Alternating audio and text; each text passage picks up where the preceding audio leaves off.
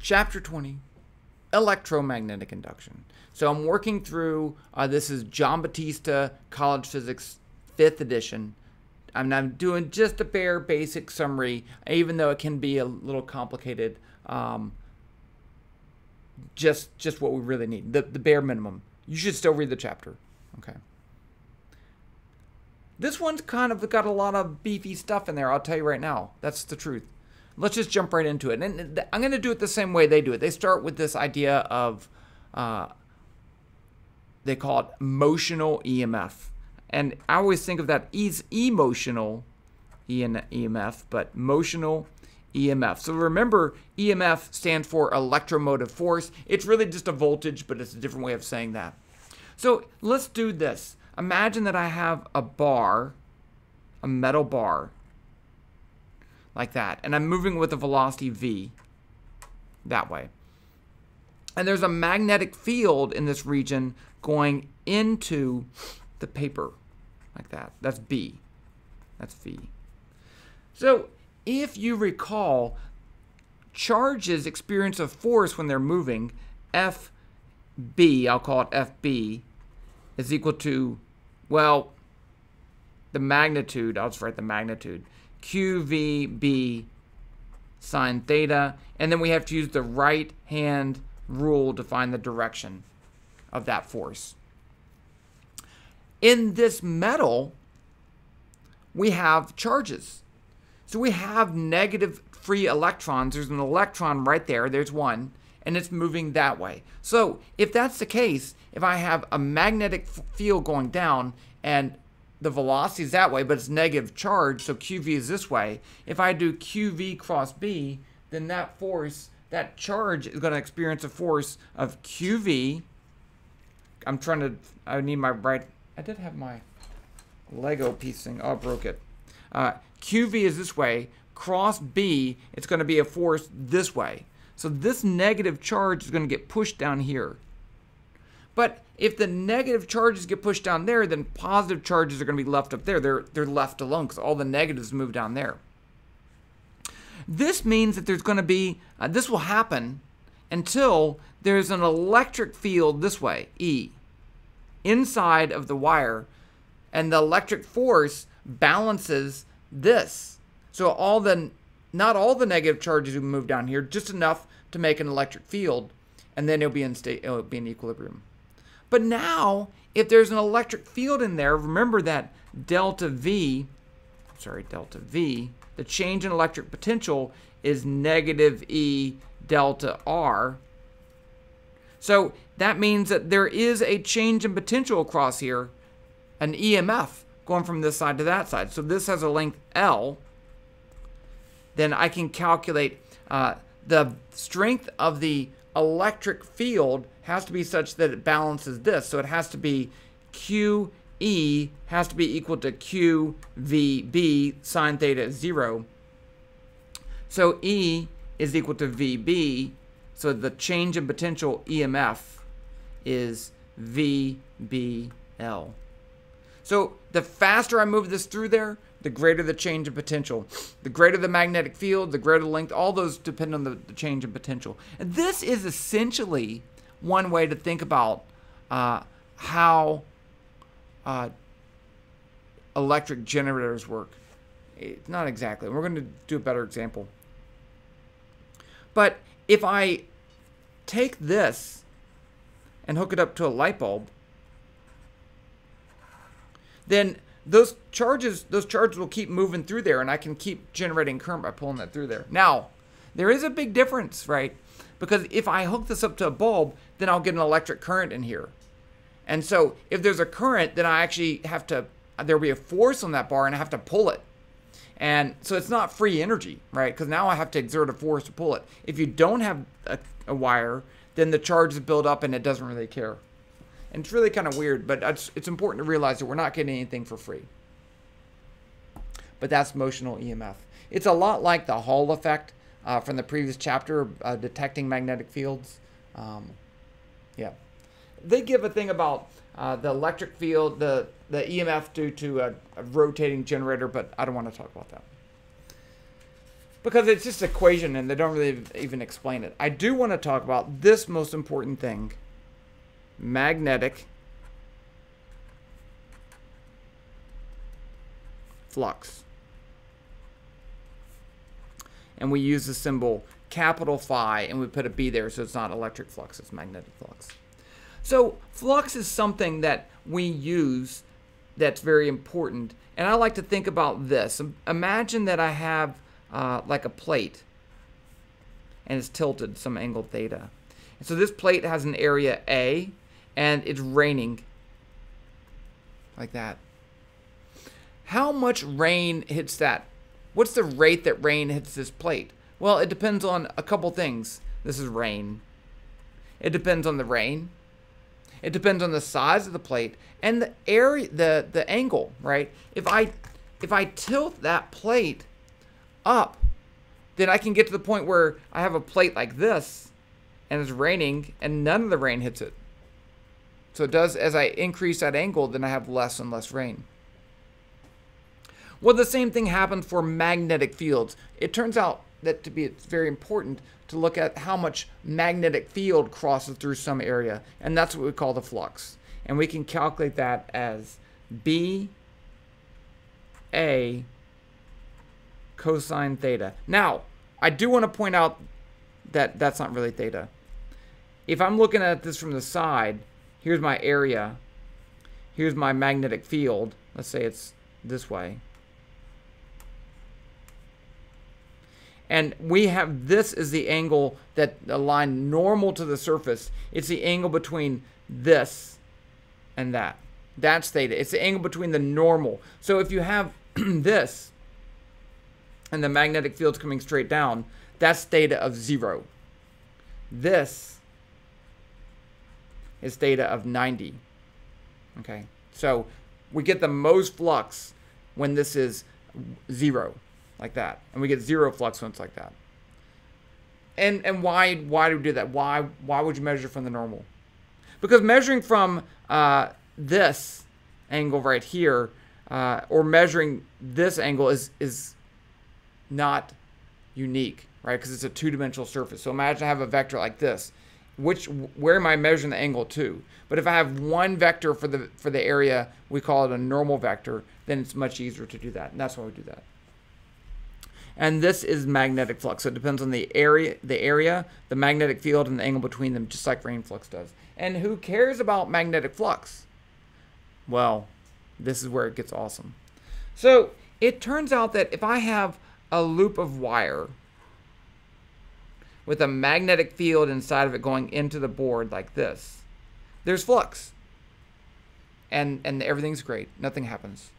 But if I change the magnetic field or change the flux in any way, then I actually get an induced voltage around the loop, an EMF.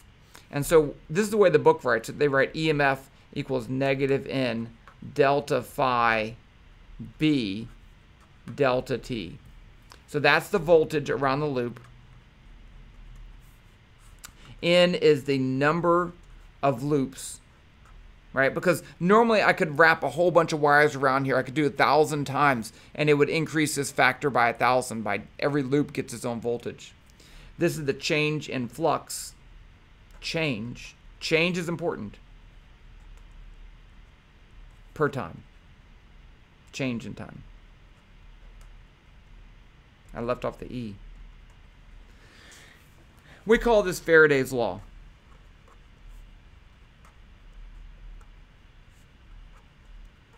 And the negative sign is not really working in this equation, but I'm going to tell you what it means anyway.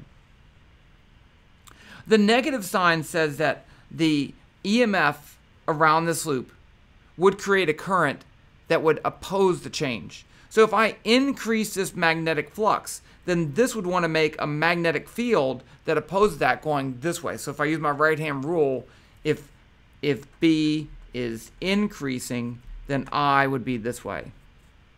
If B is decreasing, then I would be that way. Okay, because it wants to oppose the change. It wants to keep things the way they are. So it doesn't want to do that. And I could change the flux in any number of ways. I could change the, the magnetic field.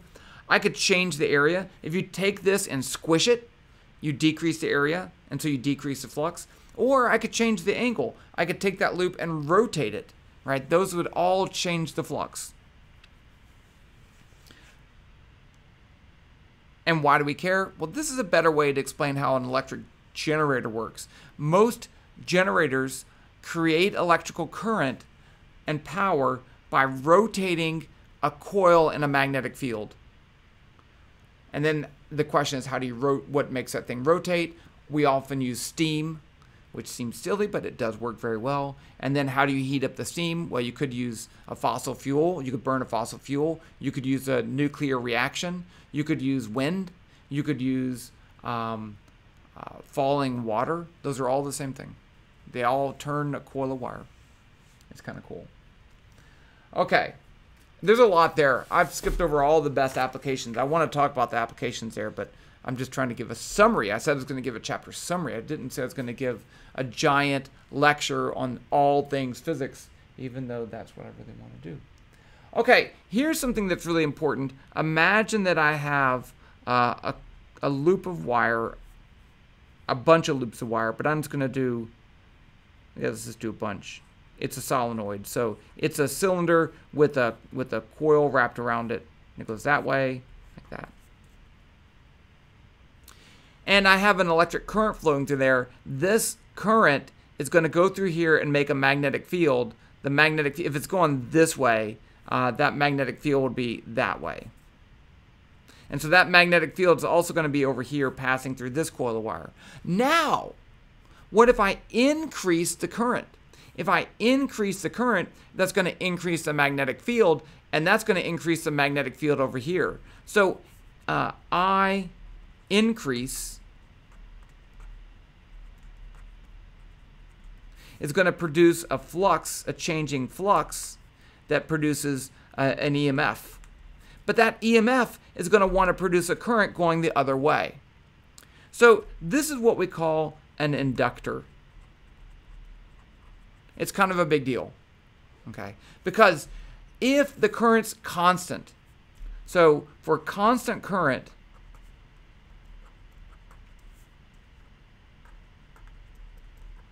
it's like it's not even there. It's just a plain wire. But for changing current, the faster the current changes, the greater the change in flux, the greater the induced electric, electric current. For changing current, this makes an opposite voltage. So the whole inductor behaves as the current changes. So this this makes a voltage change for a voltage for changing current. Now, if you remember, we had this other thing called a capacitor. This did the exact opposite. If you had a constant current, this built up and made a change in voltage. If you change the current back and forth, if I add and take off charge off this plate, it's like it's not even there. So these, these two things are opposite. The inductor and the capacitor are opposite, which is really great. They, ha- they make us they make they allow us to do awesome things like oscillating circuits. And I'm not going to talk about those right now. We'll talk about those later, but it is kind of kind of a big deal. Um, oh, they, they did talk about transformers. Um, I, I don't they just given the transformer equation, so I don't really want to talk about that right now. We'll talk about transformers at some other point. Um, so I can calculate the change in the voltage across this EMF for an inductor as uh, negative L delta I delta T, where we call L the inductance. Just like uh, let's see, delta V equals, uh, let's see, C is Q over V, yeah, Q over C. That's right. C is Q over, that's right. Where that's the capacitance, and that's the charge in the plate. So that, this is the current, the change in current, and that's the physical parameters of this coil of wire here, the inductor.